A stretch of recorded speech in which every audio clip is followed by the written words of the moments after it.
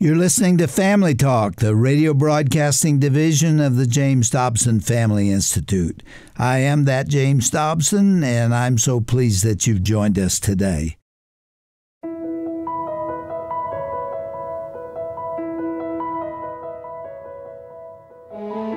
Welcome to Family Talk. I'm Roger Marsh, and today on the program, we have a very special presentation to share with you. Today's show features one of Dr. Dobson's closest friends, Bob Vernon. Bob Vernon is a retired police officer who served within the Los Angeles Police Department for over 38 years. He began his career as a foot patrol officer in the mid 1950s and climbed the ranks until he retired in 1992 as the Assistant Chief of Police, the second highest position within the force. Bob is also the founder of the Pointman Leadership Institute, an international training group that presents seminars on leadership and ethics to police and other government and private organizations.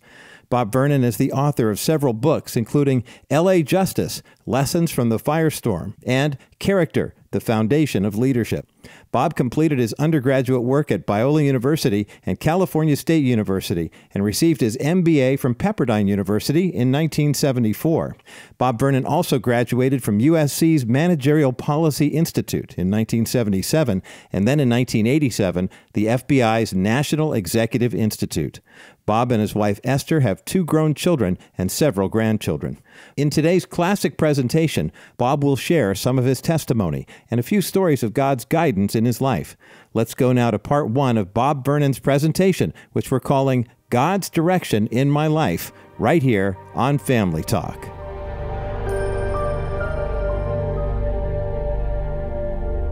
Father, anytime that we talk about spiritual things, we have to ask for your guidance. And and I admit that to you right now, and I ask for your guidance, your, your presence.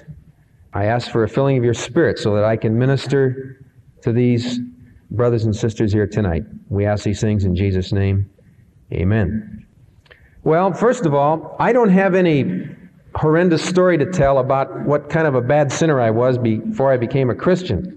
Actually, I was just a, I guess you would call it a common garden variety sinner you know, like most of you. Uh, and I, I, wasn't a, you know, super uh, weird sinner, just a common garden variety sinner, you know. Uh, I don't have any claim to fame, like I, I never was a, a pickpocketer, or I never murdered anybody or anything like that. But I was a sinner, you know. And uh, I came to know uh, Jesus Christ as my personal Savior early in life, as a preteen, actually, just as I was beginning my teens, about 12 years old. And uh, I uh, was brought up in this real good church, Bible teaching church, and I, and I heard these messages, and, and I, I believed what I was hearing, and it seemed reasonable to me. And at 12 years old, I took the step. I took the leap of faith that uh, many of you have just taken recently and uh, became a Christian. You know, joined the family of God. And of course, as I entered high school, I was kind of interested about doing what God wanted me to do. I'd read several verses. One of them was in Jeremiah 29th chapter, where it says, I know the plans I have for you, saith the Lord, plans for welfare and not for evil, to give you a future and a hope. And you know, that kind of sounded good. I like that idea. God, the creator of the universe, has a plan for me. That's kind of neat. I'd like to know that plan. And so immediately after becoming a Christian, that was one of the first concerns I had. God, uh, you got a plan for me. That sounds kind of good. I'd like to know about it. Can you let me know what it is? And so I tried to find out. And you know, I, I have to admit something to you. I kind of expected something miraculous to happen. I kind of expected, like in the middle of the night, you know, a weird angel standing at the foot of my bed, flapping his wings. you are to be a radio announcer, or you know, something like that. Some, some weird thing. And, and it didn't happen. And I, and I kind of expected that sometime maybe it wouldn't be quite that dramatic. Maybe I'd be sitting in church and all of a sudden, Africa, you know, and I'd see the spot on the, on the missionary uh, map in front of the church kind of light up, you know, or something like that. And, uh, you know, that didn't happen either. And I'm not belittling God. I'm not saying He can't do miraculous things. He has in the past. And occasionally today He does miraculous things. Uh, well, every day really He does them, but I mean, that kind of miraculous, kind of the dramatic type with an angel standing at the foot of your bed. You don't hear that too often today. Now, once again, I'm not saying you can't do it, but generally speaking, if you're expecting that, uh, let me say this I, I don't think that happens too often. We have God's revealed revelation to us right here. We don't need those miracles that they had to have years ago. We have His completed Word right here, the Bible. And that's one of the reasons why I think it doesn't happen. Well, anyhow, I was kind of expecting the miraculous, and it wasn't happening. And I was getting into high school, and nothing was happening. No call, no special message, you know. And uh, I started uh, wanting to know what school I should go to. And I began praying and, and saying, God, you know, you know, I want to, to know what you want me to do now. Can you just kind of clue me in on the college? You know, or, or maybe the major even. That would even help. And suddenly, instead of miraculous, uh, weird things happening, you know, angels and all that stuff, very common things began to happen. For instance, my mom said, Hey, Bob, uh, have you ever considered Biola? And after we had the conversation, I, I went back to my room and I thought, I wonder if God would choose my mother to lead me to his, you know. I mean, that's, that's not too dramatic, you know. Well, I, you know, I just kind of forgot that for a while. And uh, my sis came home from college. She was going to Biola. She said, Hey, Bob, uh, you're going to consider Biola, aren't you? Hey, all in the same week this happened. And then the thing that really topped it off, a buddy of mine that we are you know, graduating from high school together, he said, I know the transportation is a problem. He said, I, I just bought this motorcycle, and I know you're thinking about transportation, about college, and you don't have enough, enough money to live in, in a dorm, and you need to stay at home, you need to go to a local school. Well, I just bought this motorcycle, and I'm going to Biola, and I'd be, I just love to come by your house and pick you up.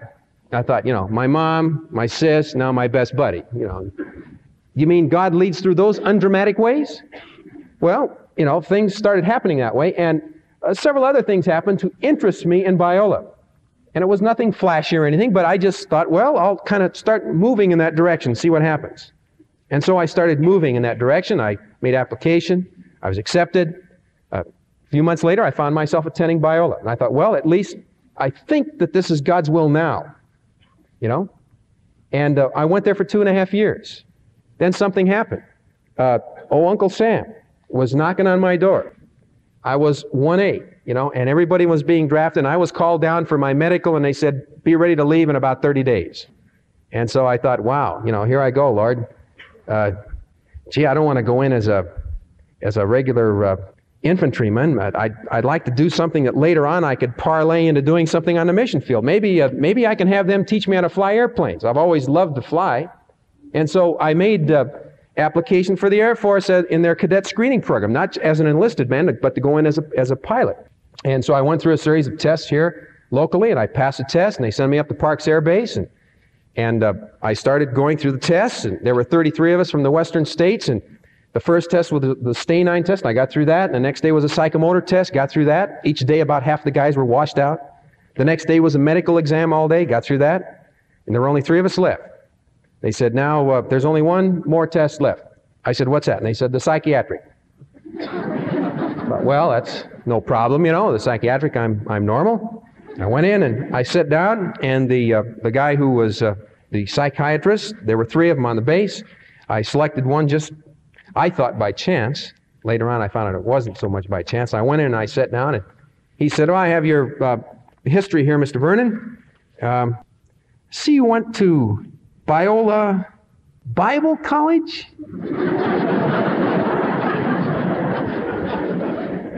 I said, uh, Yes, sir.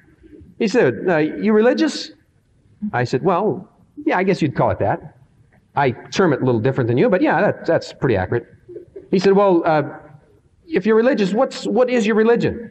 I said, Well, I'm a Christian. Oh, you're a Christian. Uh, who do you think Jesus Christ was? I said, Well, I, I think he's the Son of God. I believe that. He said, Do you really believe that? I said, I really do. He said, In other words, you believe in a personal God. I said, Yes, sir, I do. And, and you, let, let me hear that again. You believe that Jesus Christ was his son. I said, That's right. He looked at me. He said, Let me see your fingernails. Hell on my fingernails, you know? I'm not kidding. And, and he said, Oh, you don't bite your fingernails. I said, No, I don't bite my fingernails. He said, Well, there's definitely an emotional instability here to, uh, to be so religious as to believe in a personal God and that Jesus Christ is Son of God. He said, That's, uh, you're hyper religious. And uh, he said, I'm, I'm afraid we're going to have to fail you in this portion of the exam. And you know, I thought it was some kind of put on. I thought it was some kind of a deal to, to make me react. And so I just sat there with my arms folded and kind of smiled at him. He said, he said, well, you can leave. You, you, you can, you're free to go now. I said, well, do you mean that's all? He said, yeah, I just told you I, I'm eliminating you from the competition. You know, I got up and I, I still thought it was some gag, you know, and I walked toward the door and I expected him to say, okay, let's get down to the real interview, you know, and I walked toward the door and I paused and I looked over my shoulder. The guy still hadn't said anything. I opened the door and I kind of stalled going through the door, you know. Nothing happened. And I found myself really eliminated. So I went over to the head of the selection team at Parks Air Base and I said, hey, something really strange happened. The man in charge said he was a colonel, and his adjutant had questioned me first of all. And, and as soon as I started talking, the, the colonel got up from his desk and he came out and he said, uh, you had trouble with one of the psychiatrists about religion. And I said, Yes, sir. He said, That was probably Lieutenant so and so. And he named the psychiatrist. And I said, Yeah, how did you know? He said, Well, you see, we're having a little problem with him.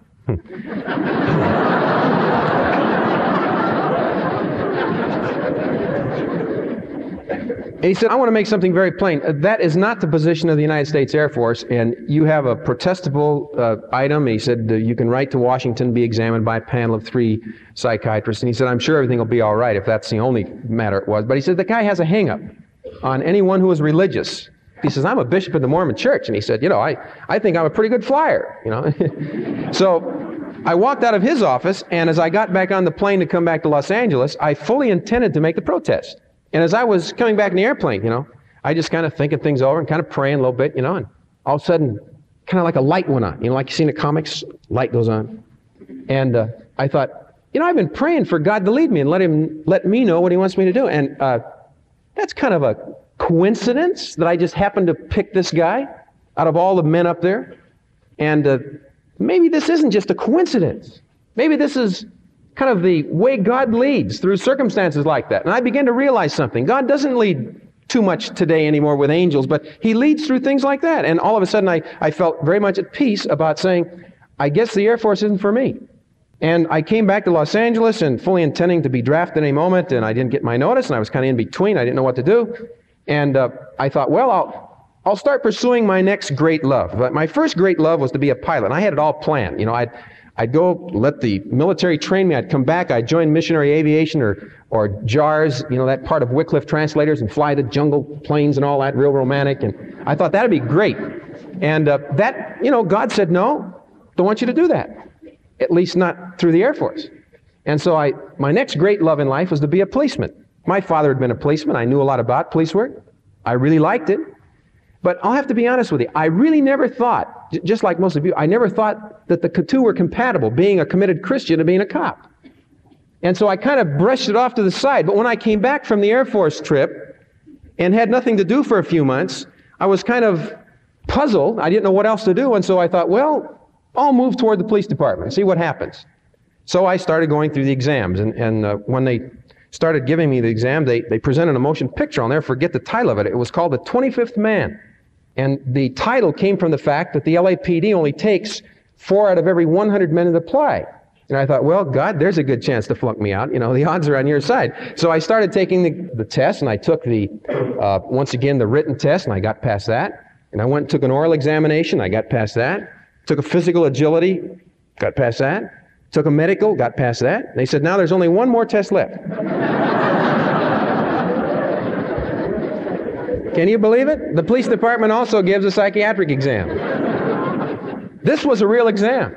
The other was a three minute interview. This was a real exam, looking at the ink blots and all that kind of stuff, you know, and filling out a personality scale. And, and later on, coming back a few weeks later and sitting down and having an interview with Dr. Rankin.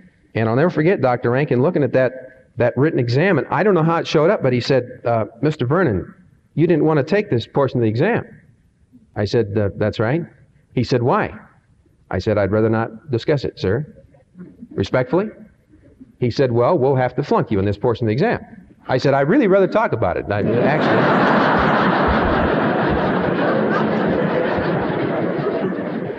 and I told him what happened at Parks Air Base. And when I told him what happened, he said, uh, You mean you believe in a personal God?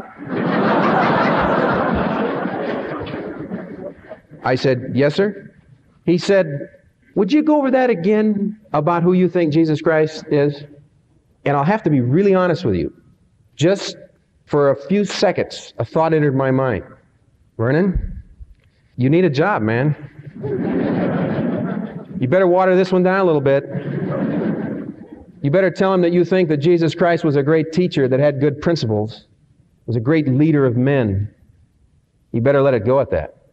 You know, I almost said that. And then the other thought that came in my mind was wait a minute. If God doesn't want me here, I don't want to be here. And if God wants me here, no psychiatrist is going to keep me out. Be honest. So I said, Sir, I believe. And I thought, you know, I really thought I was going to get flunked out again. So I thought, I'm going to go out in a blaze of glory, you know. So I said, I believe that Jesus Christ is a Son of God. And I carried a step further. I said, He's alive today, and I know him personally. Talk with him. He looked at me.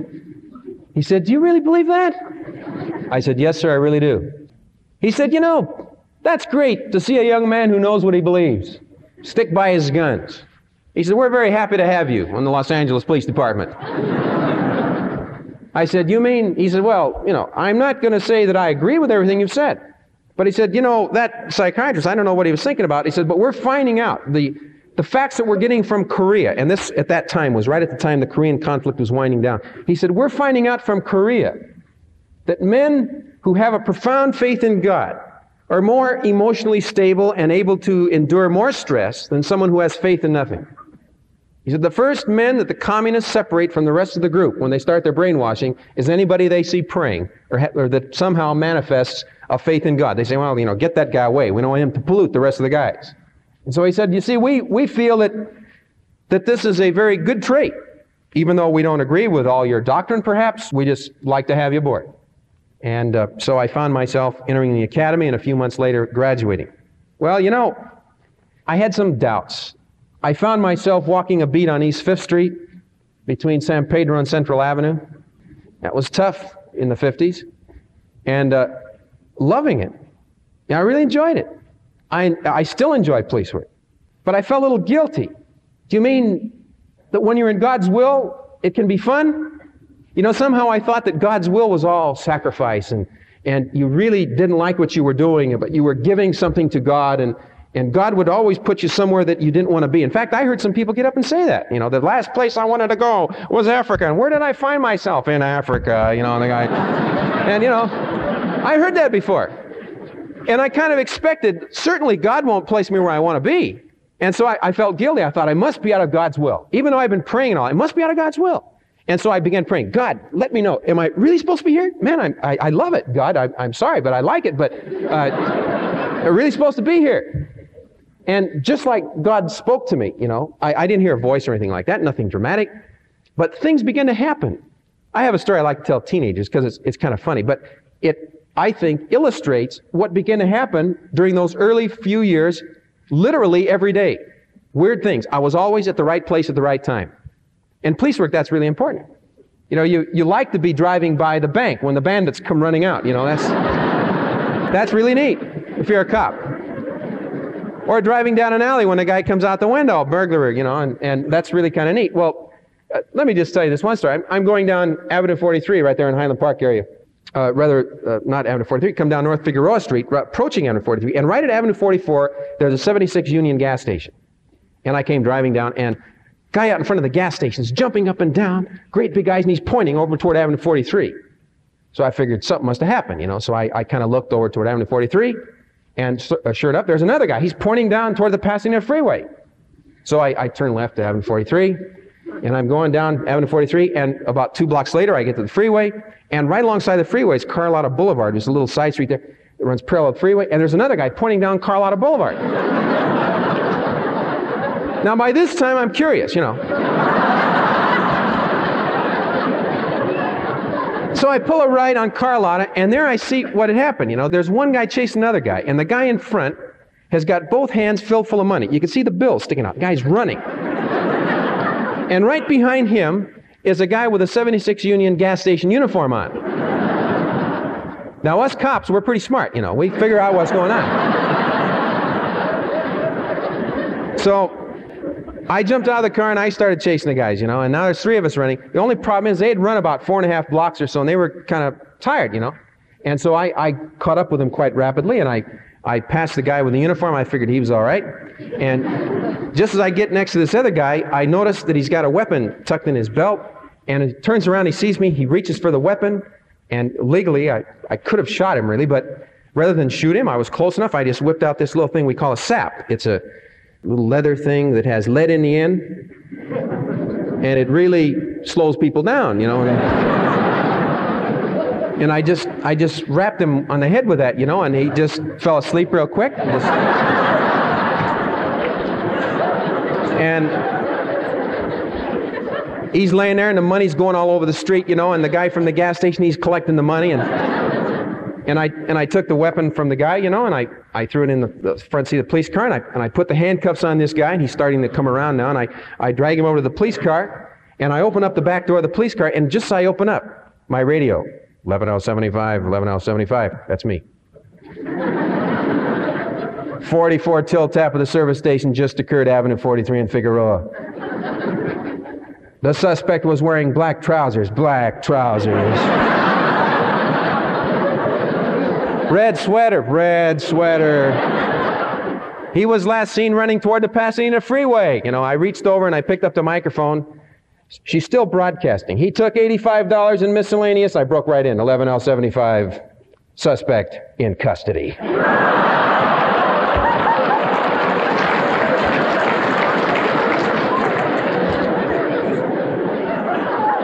she couldn't believe it, you know. She said, 11L75, repeat. so I repeated it, you know, and, and finally she believed me. And so uh, they canceled the, the all units broadcast, and I drove back to the service station. And the first guy that was pointing, you know, first guy in the, in the turns out he's the owner or, or leasee or whatever you call him of the service station. And he, he said, he was walking around throwing his hands in the air. He said, It's fantastic. It's amazing. I said, What's that, sir? He said, This modern police department, scientific advances. He, says, he said, I just hung up the phone and there you were.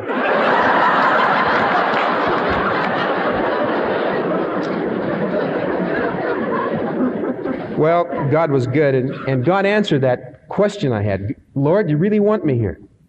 And I knew that it was outside of my control. Something was happening outside my own capabilities and, and abilities to figure things out. And so I said, Oh, okay, I get the message, Lord. I am supposed to be here. Okay, I, I get that. Thanks for that. Now, why do you want a committed Christian in this slot of being a, a cop? That was my next prayer. And almost as soon as I began uttering that prayer, that was two or three years after I got on the police department, I began getting answers to that prayer. I began getting opportunities to share with various groups, agencies, schools that normally would not ask a preacher or pastor to come into their group and, and give them a talk. For instance, PTA groups. They'd say, Now we understand that you know quite a bit about juvenile narcotics. Uh, we'd like for you to come and speak to our PTA group. And my normal answer, which still is, I still get requests like, I say, well, fine, I'll be glad to give a, a talk. I want you to know that when I do these on my own time, though, that uh, I have to let you know that I go a little deeper than you may want me to go. And they say, what do you mean by that?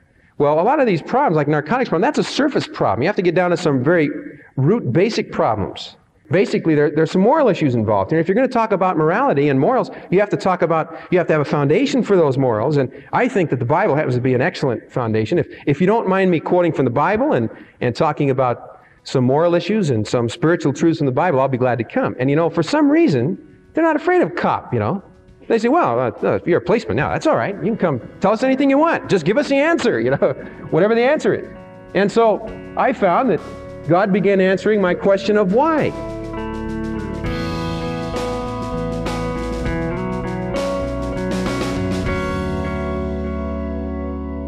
Well, we hate to interrupt this entertaining and insightful presentation, but we are running out of time for today's edition of Family Talk. I'm Roger Marsh, and that was a classic presentation by Dr. Dobson's good friend and former LA Assistant Chief of Police, Bob Vernon. Please join us again tomorrow for the conclusion of Bob's presentation right here on Family Talk. In the meantime, if you missed any of today's program, remember you can stream it when you visit drjamesdobson.org forward slash family talk or give us a call at 877 732 6825.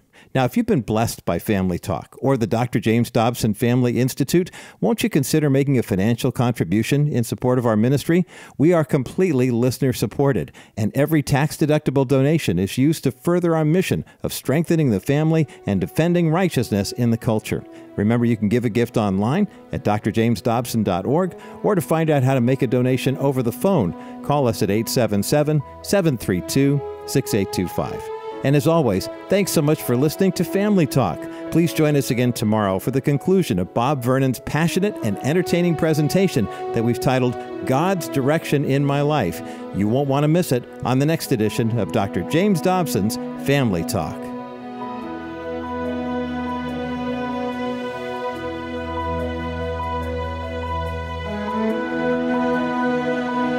This has been a presentation of the Dr. James Dobson Family Institute.